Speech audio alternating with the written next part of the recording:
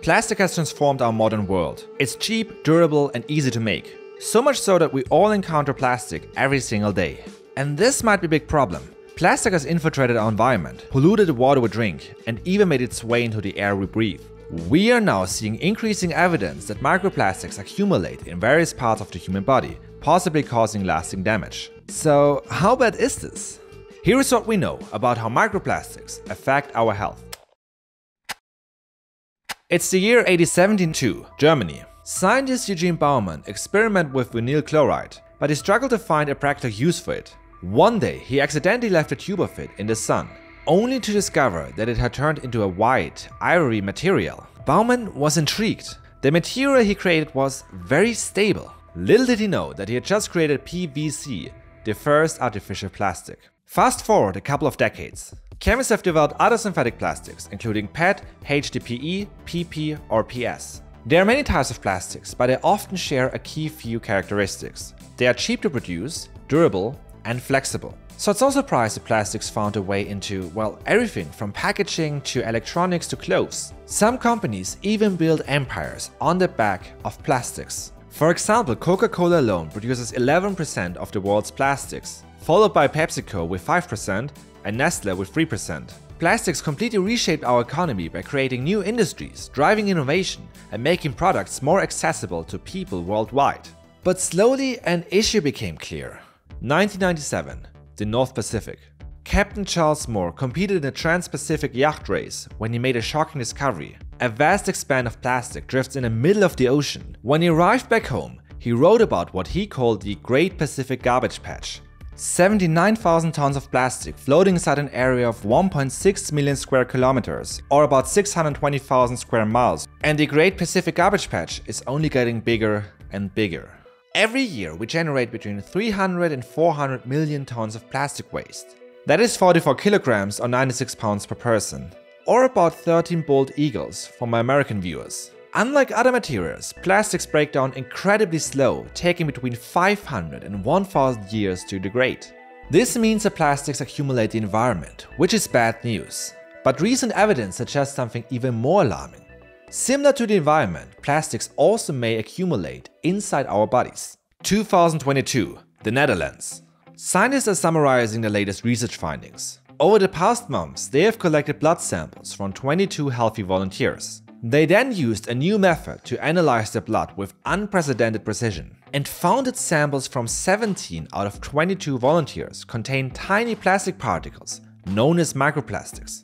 Microplastics are particles of plastic smaller than 5 millimeters. They form when larger plastic items break down, often due to exposure to UV radiation or wear from car tires. The average amount of microplastics detected was 1.6 micrograms per milliliter. Half of the blood samples contained PET plastics, which is commonly used in drinking bottles, while a third contained polystyrene, used for packaging food and other products. A quarter of the blood samples contained polyethylene, from which plastic carrier bags are made. And this was unprecedented. Before that, it was not known that plastic could potentially flow in the blood of so many people. Now the race was on to find out where else we accumulate plastic inside our bodies. Let's play a game. Where have we found microplastics in our body? A. The heart, B. The liver, C. Unborn babies, or D. The Tin Man from the Wizard of Oz. Yeah, you guessed it. D. The Tin Man is made out of tin and not plastic.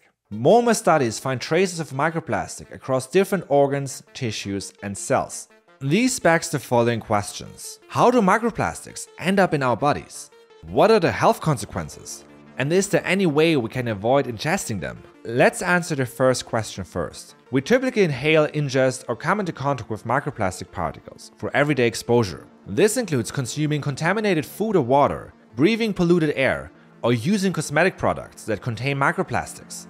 It's estimated we take in between 39,000 and 52,000 microplastic particles each year. That's about 5 grams of plastic every week, which is roughly the weight of a credit card. And I guess you can say that at this rate, we don't need a dentist, but a plastic surgeon. Ouch. Now we come to the second question. What are the health consequences? Let's start with the lungs. We often inhale microplastics released from tire road wear, which can settle deep within lungs. These plastic particles can trigger lung cells to release chemotactic factors, which in turn can impair the function of the immune system and contribute to inflammation. This has been especially demonstrated in rats, where microplastic particles were enough to cause severe inflammation in the lungs. But this is not limited to rodents. Workers in synthetic textile factories, such as those producing shoes or polyvinyl chloride, also show a higher incidence of lung diseases, likely due to prolonged exposure to airborne microplastics. Studies have also found that lung cancer tissues contain microplastics more frequently than healthy lung tissues. Next is the intestine. Early studies suggest that microplastics can physically irritate the gut lining and trigger inflammation. Beyond the physical impact, microplastics may also cause chemical toxicity by carrying and releasing environmental pollutants, such as heavy metals or polycyclic aromatic hydrocarbons, that can accumulate in the body over time. Gut bacteria also appear to be affected by microplastics. In one study, researchers isolated gut bacteria from volunteers and exposed them to plastic particles. The results showed that bacteria that cause inflammation thrived in the presence of microplastics, while a healthy gut microbiome is negatively impacted by microplastics. Similar to the lungs and the intestine, other organs may also be affected. Mice fed with microplastics in their diet showed an increased inflammation in the liver, intestine, and kidneys after two weeks. In the same study, it was also shown that these inflammations were more severe in diabetic mice compared to healthy mice, which helps us to understand how certain diseases may even make the effects of microplastics worse.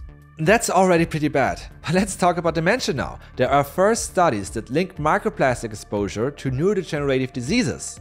Scientists found that plastic nanoparticles can pass through the blood-brain barrier in mice, accumulate in the central nervous system and damage brain cells. Moreover, exposure to traffic pollution, including microplastics, has been associated with mild cognitive impairment in the elderly, increasing the risk of Alzheimer's disease development and dementia. And similar to neurodegenerative diseases, there are also associations between microplastic accumulations and heart disease or different forms of cancer. And there is something else. It has been shown that plastics are found in the reproductive organs. In 2023, researchers in China conducted autopsies on the testes of men and dogs. In the majority of cases, they detected microplastic particles in the reproductive organs. But that's not all, some of the microplastic particles were 2 millimeters in size, which is roughly the size of a grain of salt.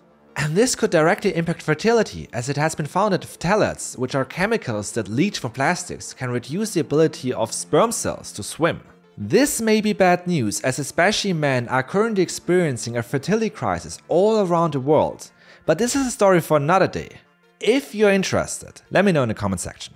Some of you might not say, well, I don't care, I feel fine. And if you feel that, well, good for you, you're doing amazing champ. But the thing is that we're releasing more and more plastics into our environment and as a consequence, we build up more microplastics inside our bodies. So the amount of microplastics that end up in our bodies will only increase in the following decades. In the last 20 years, plastic pollution worldwide has doubled and it's going to further increase in the following decades. In 2015, 90% of seabirds ate plastic, and it's expected that by 2050 we will have more plastic in the ocean than fish. We currently do not know what levels of microplastics are needed to cause serious diseases in a larger population, but as we produce more and more plastic in the upcoming years and we take up more microplastics, the risk of finding it out increases. With that we come to the third question, can we avoid ingesting microplastics? Well, the answer is not completely. Avoiding plastics completely is impossible. It's in the air we breathe, the food we eat and the water we drink. But it doesn't mean that there are some simple fixes to reduce the amount of microplastic we ingest. For example, we can try to minimize the amount of microplastics in our food or drinks. This includes avoiding drinking from plastic bottles by using glass or steel bottles or drinking tap water. A study has shown that only drinking tap water drastically decreases exposure of microplastics. And you can further reduce the amounts of microplastics in tap water by using specific membranes that are available. Microwaving food in plastic Tupperware also dramatically increases microplastic contamination, so using glass containers for storage and heating helps here. And seafood and especially shrimp also often contains high levels of microplastics, so we can try to avoid eating them too often. Similarly, we can wash plastic Tupperware by hand, as dishwasher temperatures run very hot and can degrade plastic, even dishwasher safe plastic, and lead to microplastic shedding. And lastly, we can avoid cosmetics that contain phthalates, or dental floss that contains PFAS. In the end, we will still ingest microplastics, but in lower dosages, and that may be enough to lower the risk of getting certain diseases. I want to make one last point at the end of the video, and that is the lack of government oversight. Many chemicals used in plastics, such as plasticizers in cosmetics or stabilizers, are not vigorously tested before being approved in the United States or other countries. In fact, in the US, under laws like the Toxic Substances Control Act, over 60,000 chemicals were grandfathered in without proper safety testing when the law was first passed in 1976. The assumption back then was that many chemicals have been used for decades and are therefore safe. And there are serious concerns because there are examples where we later have found out that certain substances can cause health hazards, such as cancer or reproductive issues. While there have been minor reforms, such as the 2016 TSCA reform, many chemicals still enter the market with minimal testing. And there are some regions such as the European Union which enforce stricter rules, but still it doesn't really matter because plastic knows no boundaries. When you release it into environment, it can travel through continents. We urgently need stronger global oversight, because in the end, pollution is not an environmental issue, but also a health issue. Damn. And with that, I'll see ya.